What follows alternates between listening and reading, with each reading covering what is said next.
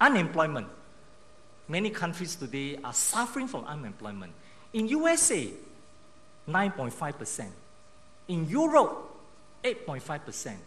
In the OECD countries, countries that are developed countries, all together put together, average unemployment rates 8%. In Singapore, 1.9%. You tell me which is better.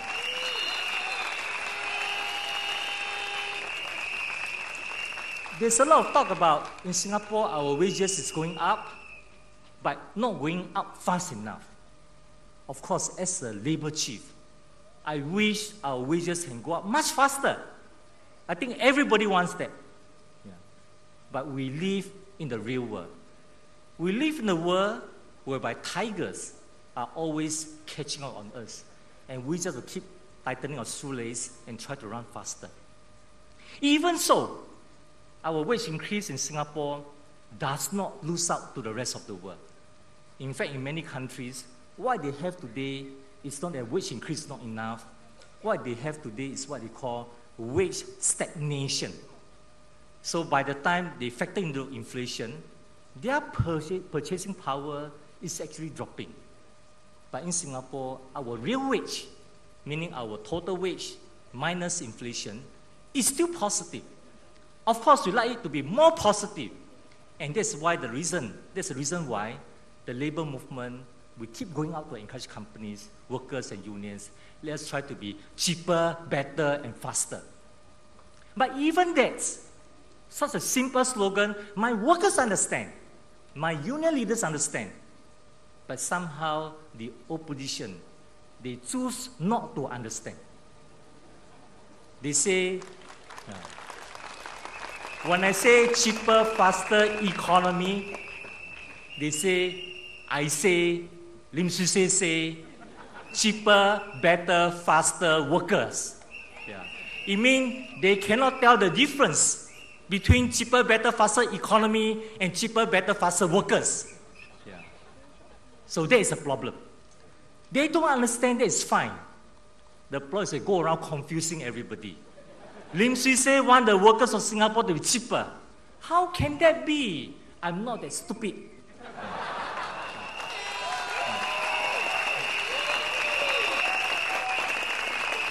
we want our economy to be cheaper, better, faster. Means that when we sell our products, we sell our services, it can be cost competitive. But it does not mean that the workers will be cheaper. In fact, it's the opposite. If we can produce our product and services cheaper, better, and faster, it means our productivity, productivity is higher. Our competitiveness is stronger. In fact, companies are going to make more money. We are going to enjoy higher wages. In fact, in the labor movement today, every company that work with us under the cheaper, better, faster economy, in fact, every one of them are sharing their gain with the workers, and workers are actually benefiting from being cheaper, better, and faster.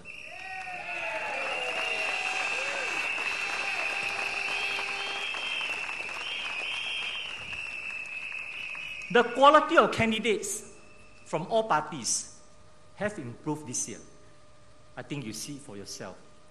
Better educated, better brain. They all know a lot. Now when they give speeches, uh, wow, you know, they talk about the world, talk about region, talk about everything under the sun. So they know a lot. But my philosophy in politics, the first day, right, the first day in 1996, I came into the NTUC as a Labour MP as a, rather as a labor, uh, as a unionist before I stood for election, I already made a commitment to myself. Now, my slogan, my, my philosophy will be, you can look at this in, my, uh, in our manifesto, it's in there. People do not care how much you know until they know how much you care. All the candidates in DG, no doubt, they know a lot I think the question you have to ask yourself is that do they care a lot too? Even if they care a lot, what do they care for? Who do they care for? Do they care for East GRC? Do they care for Singapore? Do they care for Singaporean? This is something you got to think about. General election is not about winning seats. We never look at it that way. I never look at it that way. General election is about serving hearts. Because if elected, if we as political leaders, if we are not able to deliver on our promises to you, we are going to destroy your life. We are going to break your heart. And that's something we cannot afford to do. So, therefore, I hope that all parties, all candidates realize the heavy responsibility of entering politics because you are doing, dealing with the future of Singapore, the life of Singaporean. So don't play, play.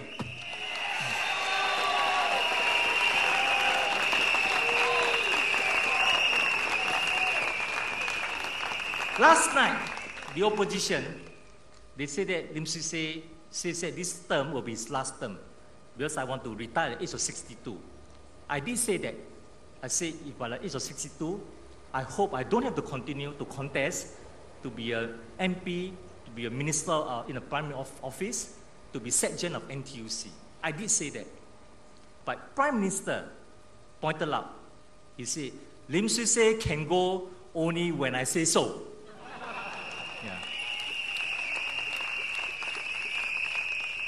I tell you very frankly, why did I say that I want to retire at the age of 62? Because I want to make sure that the NTUC will have a younger, better looking, and smarter Lim Swee Say. But it's never my intention to give up my place here in East Coast GRC to an opposition who is not smarter than me, who is not better than me, who is not committed than me.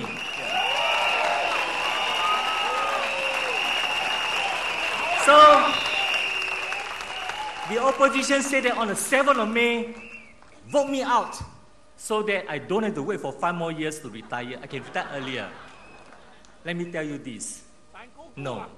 So far, I look at the opposition camp, I've not found a younger, better Lim Say yet. so, dear friends and residents, tonight, when you go back, I hope you have a good sleep. I hope you have good sleep not only tonight, Monday nights, also Tuesday, Wednesday, Thursday, Friday. Because Saturday, you have a very important decision to make. Saturday is polling day. You go to the polling station, you see the piece of paper in front of you, two logos, not too many, just two logos. I hope you look at the two logos, give yourself a little bit of time. Think through what I said tonight. Because don't place your vote based on how much you have enjoyed the rallies in these 90s. Because if you want entertainment, there are many other places for you to get entertainment. But we are talking about we are talking about securing our future. Your future, my future, your children's future, my children's future. We are talking about securing the future of Singapore. So, dear friends, residents of IFO please vote wisely on Saturday. Thank you very much. Majulah Singapore!